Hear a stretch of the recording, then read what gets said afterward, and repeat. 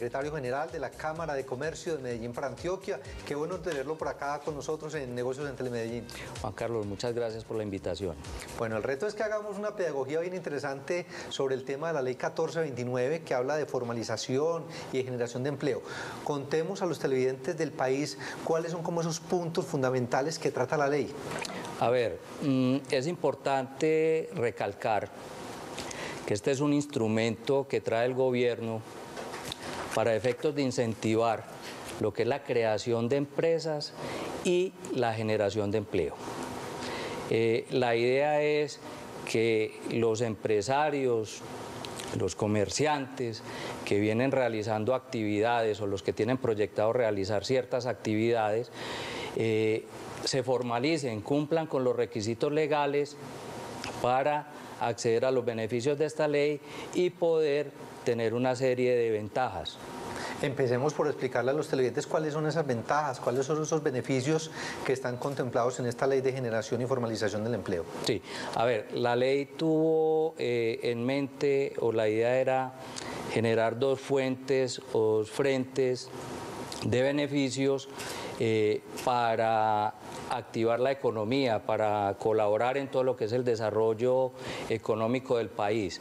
El primer frente hace alusión a la formalización y el segundo frente a la generación de empleo. Sí.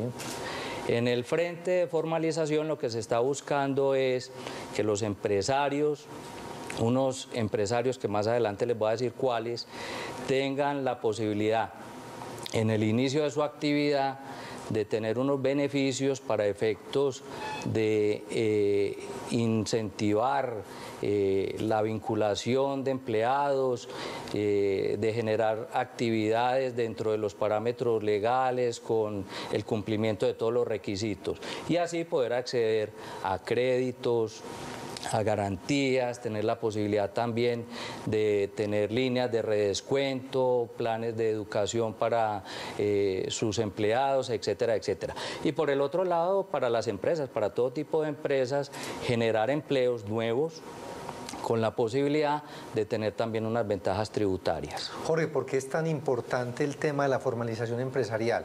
¿Cuál es la diferencia entre la persona que monta un negocio informal y cuáles serían esas ventajas de formalizarse? Sí, muy interesante, Juan Carlos, la pregunta eh, en este sentido. A ver, eh, el informal que está ejerciendo actividades lícitas, estamos hablando de actividades lícitas, pero que no se ha formalizado, quiere decir que no tiene sus registros en orden, no está llevando a sus empleados a un sistema de seguridad social, no se están pagando ciertos impuestos y eso conlleva a que el desarrollo del país y de las mismas empresas pues se vea frenado. Claro. ¿Cuáles son entonces esos incentivos tributarios, todo lo que tiene que ver con impuestos que están contemplados en la ley y que hay que hacer para acceder a ellos? Sí, eh, la ley trae dos bloques grandes de beneficios, pero adicionalmente a esos beneficios que son básicamente tributarios, y de registro mercantil, hay otra serie de beneficios eh, paralelos o digámoslo así que van a acompañar a este gran bloque de beneficios. Los bloques son, para el tema de la formalización, existe una posibilidad de eh, un incentivo tributario en el impuesto de renta que se pagará gradualmente durante los seis primeros años de formalización de la empresa. También se tiene un beneficio para fiscal para efectos de no pagar eh, el monto total de los parafiscales desde el momento de creación de la empresa, sino para irlo haciendo de manera gradual.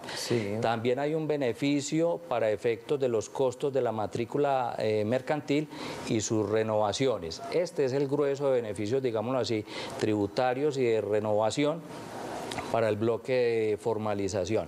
Ahora, hay otro eh, bloque muy importante que trae la ley y se refiere a todo lo que es la generación de empleo. Claro.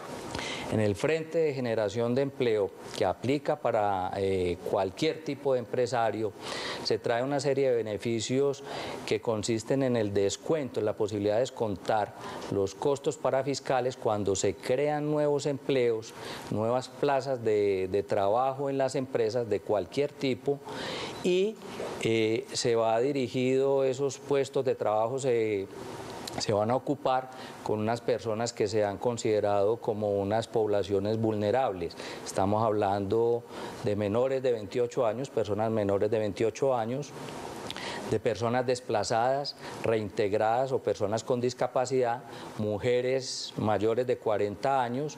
Entonces, estas personas cuando son vinculadas laboralmente en un cargo que se está creando en la empresa, tiene esa empresa la posibilidad de unos descuentos tributarios por el tema de los eh, parafiscales. ¿En qué caso se pierden los beneficios que están planteados en esta ley 1429? La ley contempla eh, como el, evento principal para la pérdida de los beneficios, la inactividad por más de un año. ¿Cómo se determina esa inactividad? Por falta de registro mercantil en el año eh, por más de un año o por no hacerse las cotizaciones eh, laborales por más de un año. En ese sentido se pierden los beneficios. Jorge, para que seamos lo más pedagógicos posibles, vamos a imaginarnos que en este momento un televidente va a crear una empresa y obviamente va a generar algunos puestos de trabajo. ¿Qué es lo que tiene que hacer para recibir esos beneficios de la ley? Entonces, en el frente de formalización, la empresa que tiene, eh, digámoslo así, la posibilidad de obtener estos beneficios son pequeñas empresas sean personas naturales o, empresas, eh, sociedades que se constituyan y que no tengan más de 50 empleados y que no tengan unos activos superiores a 5 mil salarios mínimos legales mensuales vigentes, que actualmente equivalen más o menos a 2.682 millones de pesos. Entonces, ese empresario, esa pequeña empresa, de cualquier sector de la economía, llámese sector alimentos, sector eh, industrial, sector manufacturero, va a eh, constituir o a iniciar su actividad hace el registro mercantil, diligencia el formulario, va a tener unos beneficios en el costo de ese registro mercantil porque no va a pagar la tarifa plena por ese primer año. Y en ese primer año va a tener la posibilidad para efectos de renta y para fiscales los dos primeros años no va a tener eh, causación de impuesto de renta, no va a tener eh, costos de parafiscales en esos dos primeros años. Entonces mira Juan Carlos que la ley lo que está buscando es que en el momento de inicio de las empresas, sobre todo estas pequeñas empresas, tengan un alivio en su esquema de costos al no tener que incurrir en unos impuestos y en unos costos para fiscales mientras esa empresa va teniendo, eh, va logrando su punto de equilibrio. Y hablemos de las empresas ya constituidas, ¿cómo se apropian también de esta ley para sacarle ventaja? Bueno, para las empresas constituidas entra a, tener eh, aplicación la ley en el frente de creación de empleo, que ahí sí no hay restricción por el tamaño de la empresa ni por el número de empleados que tenga actualmente.